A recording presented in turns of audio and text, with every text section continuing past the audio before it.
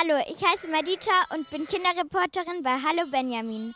Heute bin ich zu Besuch beim Schäfer. Herr Scheible zeigt mir im Stall den Bereich, wo die Mutterschafe mit ihren Lämmern untergebracht sind.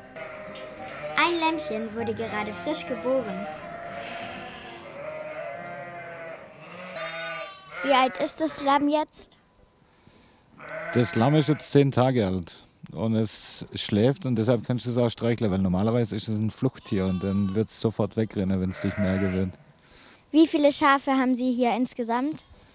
Wir haben 1000 Mutterschafe und derzeit äh, 400, 500 Lämmer. Das wird jetzt natürlich noch mehr, wenn die Lammzeit vorbei ist. Dann sind es halt äh, wahrscheinlich 600 Lämmer und diese 1000 Schafe. Ist das die Wolle von den Schafen? Ja, das sind ca. 3000 Kilo Wolle von 1000 Schafe. Das heißt, jedes Schaf hat 3 Kilo. Und was macht man dann mit der Wolle? Die Wolle kauft der Wollhändler und die wird dann weiterverarbeitet zu Kleider.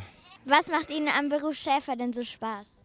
Die ganze Arbeit, die Arbeit mit den Schafen an sich, mit den Lämmern, mit, äh, mit den Hunden natürlich, die Ausbildung. Ähm, also es ist ein sehr interessanter und abwechslungsreicher Beruf und man ist natürlich auch der Natur ausgesetzt. Es regnet, es schneit, es, äh, es scheint die Sonne.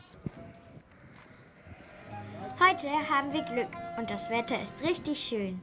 Deshalb können wir mit den Schafen zusammen auf die Weide gehen.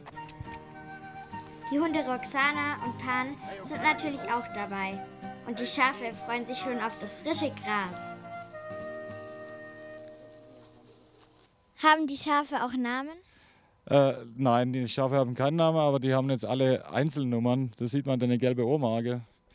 Aber Namen haben sie keine. Und wozu brauchen Sie die Hunde?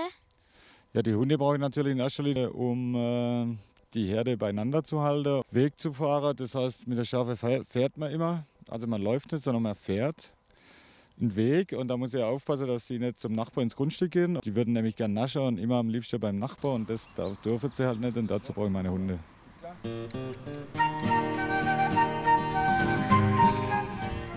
Sieht man Herr Scheible und die Hunde, wie sie die Herde wieder zurück in den Stall bringen. Das geht ganz schön schnell, denn die Hunde laufen um die Herde und halten die Schafe zusammen.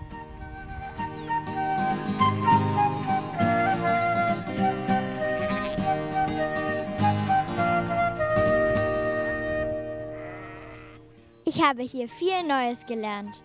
Bis zum nächsten Mal. Danke für den interessanten Nachmittag. Tschüss. Música